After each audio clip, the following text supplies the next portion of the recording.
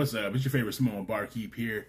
We're doing another quick review tonight. Tonight we're going to do the Schilling Hard Cider Mountain Mule.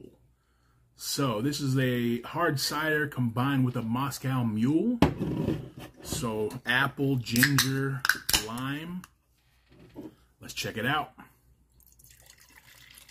If you watched the channel before, you know I love myself a Moscow Mule. So I got high hopes for this bad boy. So, the Schilling Hard Cider Mountain Mule. Here we go.